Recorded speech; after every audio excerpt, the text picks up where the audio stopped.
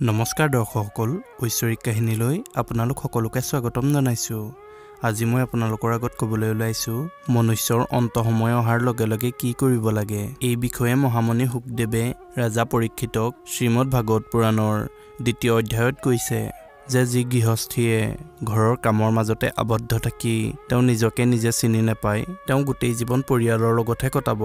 এই সংসাৰত আমি যাক ঘনিষ্ঠ সম্বন্ধ বুলি ভাবোঁ তেওঁ পত্নী পুত্ৰ আদি সকলোবোৰ অসত্য।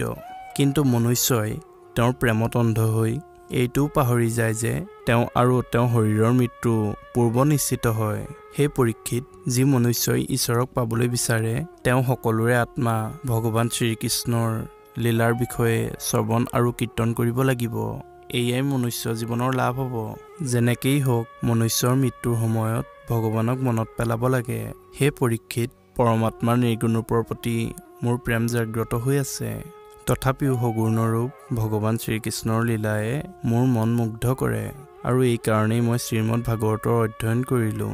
কিয়নো যি মনুষ্যই শ্ৰীমদ ভাগৱতৰ প্ৰতি শ্ৰদ্ধা ৰাখে ভক্তি ৰাখে তেওঁৰ মন সদায়েই ভগৱান শ্ৰীকৃষ্ণৰ অধীন হৈ থাকে।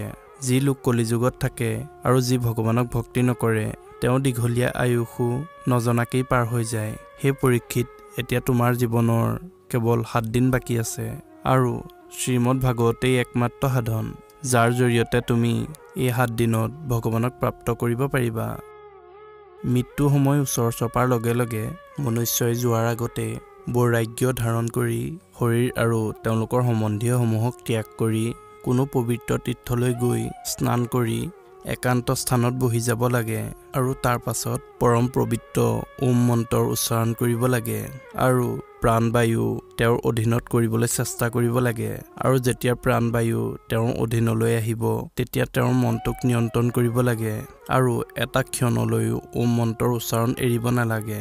বুদ্ধিৰ জৰিয়তে তেওঁৰ মনটোক নিয়ন্ত্ৰণ কৰি তেওঁৰ ইন্দ্ৰিয়সমূহ তেওঁৰ অধীনলৈ আনি তেওঁৰ আসক্তিৰ পৰা আঁতৰত ৰাখিব লাগে আৰু মনটোক ভগৱানৰ মংগলময় ৰূপক লৈ লগাওক মনুষ্যই তেওঁলোকৰ নিজৰ ধ্যান ভগৱানৰ শৰীৰৰ যিকোনো এটা অংগক লৈ লগাওক আৰু লাহে লাহে এটা এটা অংগক ধ্যান কৰি আৰু নিজৰ মনটোক ভগৱানৰ স্বৰূপত এনেকুৱাকৈ লগাওক যাতে আন বেলেগ চিন্তা মনলৈ নাহে। এয়াই ভগৱান বিষ্ণুৰ পৰমপদ বুলি কোৱা হয়। এই ধ্যান প্ৰাপ্ত কৰি সকলো ভগৱানৰ প্ৰেমত ডুব যায়। যদি ভগৱানক ধ্যান কৰাৰ সময়ত আসক্তি আৰু ইচ্ছা আহে যদি তেতিয়া ভয় নাখাব। ধৈৰ্য ধৰি ভগৱানক ধ্যান কৰি থাকক। কিয়নো যেতিয়া যোগীয়ে ধ্যান কৰি থাকোঁতে যেতিয়া পৰম পিতা পৰমাত্মাক দেখে তেতিয়া তেওঁলোকৰ অবিলম্বী ভক্তিযোগ প্ৰাপ্ত হয়। দৰ্শকসকল আজি আমাৰ এই ভিডিঅ'টি কেনেকুৱা পালে? আমাক তলৰ কমেণ্ট বক্সত জনাবলৈ নাপাহৰিব। আৰু পৃথিৱীত হৈ থকা এই মহামাৰী কৰোণাক ৰোধিবলৈ একমাত্ৰ উপায় আছে আমি সকলোৱে একান্তভাৱে হৰিনাম শ্ৰৱণ আৰু কীৰ্তন কৰিব লাগিব। ভগৱানে সকলোৰে প্ৰাৰ্থনা নিশ্চয় শুনিব। দৰ্শকসকল ভিডিঅ'টি ভাল পালে যদি শ্বেয়াৰ কৰি দিব। এনেকুৱা ধৰণৰ ঐশ্বৰিক কাহিনীসমূহ আগলৈকে পাই থাকিবৰ বাবে আমাৰ এই চেনেলটিক ছাবস্ক্ৰাইব কৰি দিব আৰু ছাবস্ক্ৰাইবৰ কাষতে থকা বেল একাউণ্টটোত ক্লিক কৰি অল অপশ্যনটোত ক্লিক কৰি দিব তেতিয়াহে মই দিয়া সকলো ভিডিঅ' সকলোতকৈ আগতে লাভ কৰিব। ধন্যবাদ।